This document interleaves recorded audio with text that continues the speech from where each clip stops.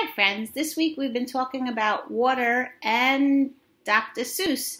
So I have a story about a fish who got out of the water. What do you think can happen when a fish gets out of water? Because fish need to leave, live in water, right? So let's find out what happens. It's called A Fish Out of Water by Helen Palmer and illustrated by P.D. Eastman. This little fish, I said to Mr. Carp. I want him. I like him. And he likes me. I will call him Otto. Very well, said Mr. Carp. Now I will tell you how to feed him. Then Mr. Carp told me, When you feed a fish, never feed him a lot. So much and no more. Never more than a spot. Or something may happen. You never know what. Then I took Otto home. I gave him some food. I, I did not give him much, just one little spot. But this did not make Otto happy. He wanted more food. He had to have more. Poor Otto, he just had to have more.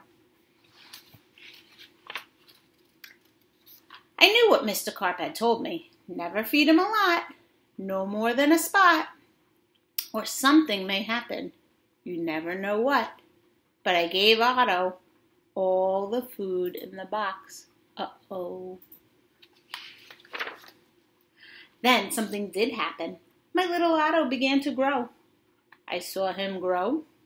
I saw him grow and grow.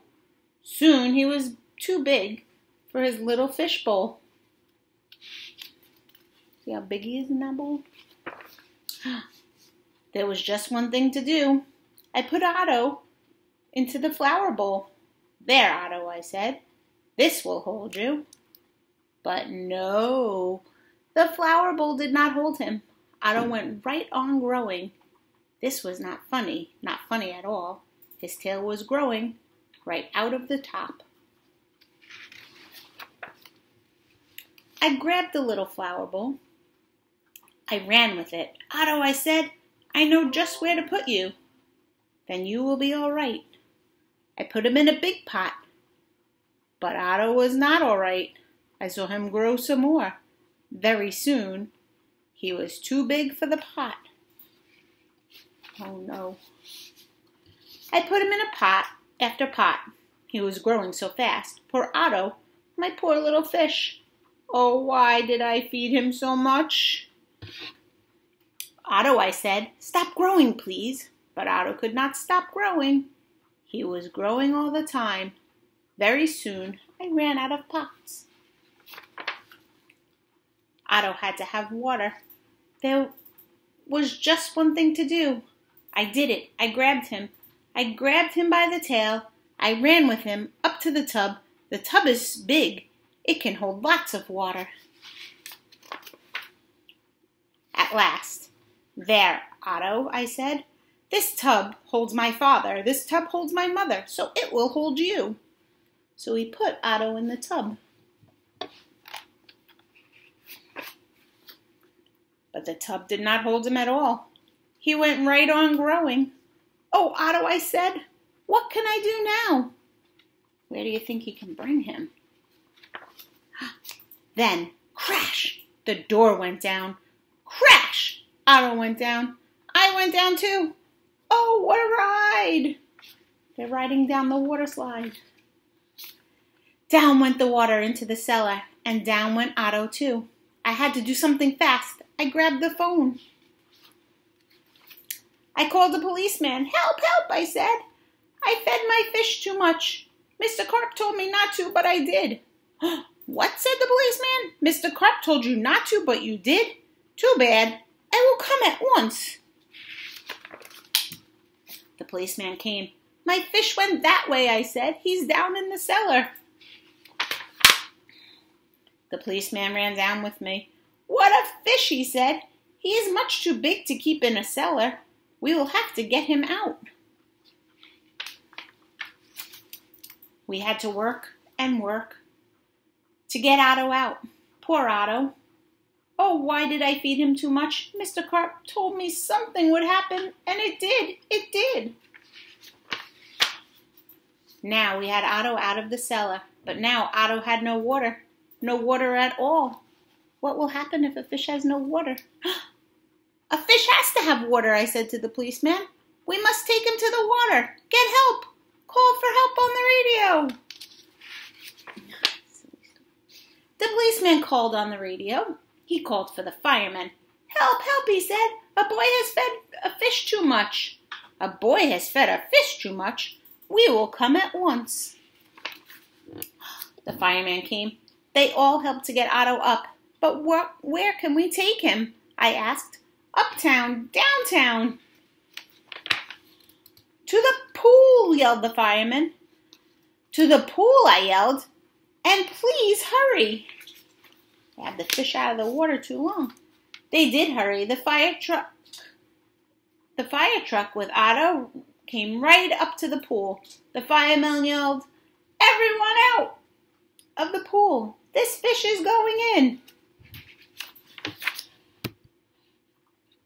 Down into the pool went the went Otto into the pool with a big, big splash. Now I was happy. Now at last my Otto had water, lots of water. This big pool was just the thing.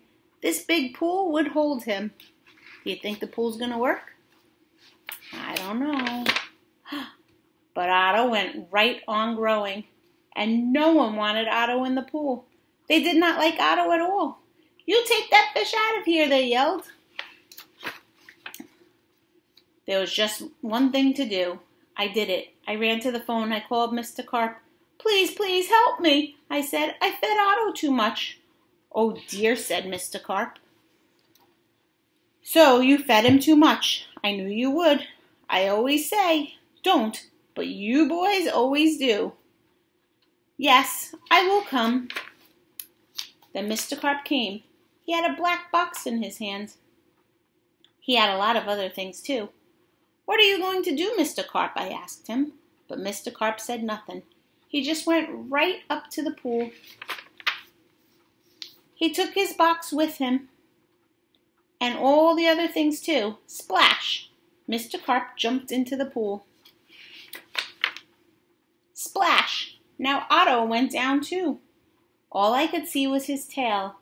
I could not see Mr. Carp at all. What was going on down there?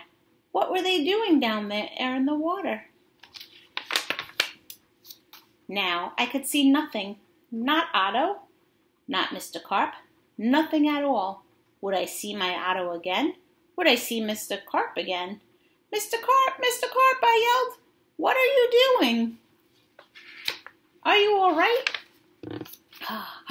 Then up jumped Mr. Carp. In his hand was a little fish bowl. In the bowl was my Otto. Mr. Carp had made him little again. Don't ask me how I did it, he said, but here is your fish. And from now on, said Mr. Carp, please don't feed him too much. Just so much and no more. Now that is what I always do. Now I feed Otto so much and no more never more than a spot, or something may happen. And now I know what. The end. So if you ever get a pet fish, make sure you only feed them this much. See you soon. Bye.